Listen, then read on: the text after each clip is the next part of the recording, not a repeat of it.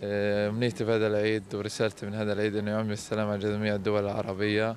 ويرجع كل مغترب إلى أهله وإلى حضن وطنه ويعم السلام. وربنا يطرح السلام يعني وما وما يجعل الحروب ونضلنا إخوة مسيحيين ومسلمين نعيد عيد واحد وتصير محبة دينية بيناتنا